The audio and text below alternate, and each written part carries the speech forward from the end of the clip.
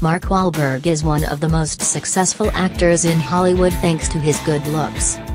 And it appears as if one of his offspring has inherited his handsome mug as the power player, worth almost $250 million, posed with his youngest son Brendan, aged 9, during a trip to Barbados.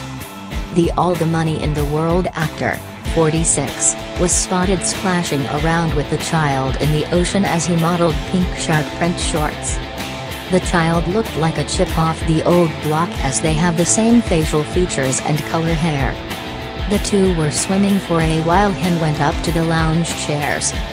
Mark has three other children, son Michael, aged 11, as well as daughters, Ella Rae, aged 14, and Grace Margaret, aged 7. Brendan is getting a much different upbringing than his dad had. While the boy lives in a mansion in LA and gets to travel the world while meeting stars like Michelle Williams and Leonardo DiCaprio, Mark grew up in relative poverty. He has spoken of his early days in Boston and how he was led down a dark path. Wahlberg was born in the Dorchester neighborhood of Boston, Massachusetts, the youngest of nine children. His mother, Alma Elaine was a bank clerk and a nurse's aide, and his father, Donald E. Wahlberg, SR was a delivery driver.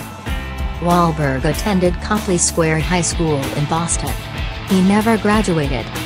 As a teen he was addicted to cocaine and he got into street fights.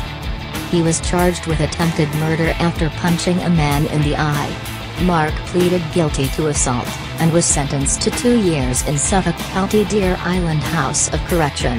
He has a permanent felony record because of it. He also fractured his neighbor's jaw. I did a lot of things that I regret, and I have certainly paid for my mistakes, he has said. You have to go and ask for forgiveness and it wasn't until I really started doing good and doing right by other people, as well as myself, that I really started to feel that guilt go away.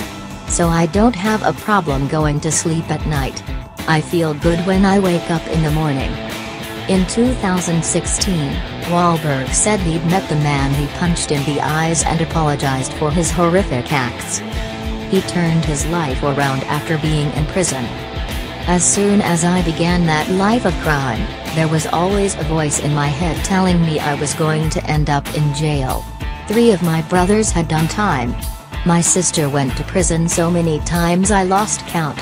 Finally I was there, locked up with the kind of guys I'd always wanted to be like. Now I'd earned my stripes and I was just like them, and I realized it wasn't what I wanted at all. I'd ended up in the worst place I could possibly imagine and I never wanted to go back. First of all, I had to learn to stay on the straight and narrow.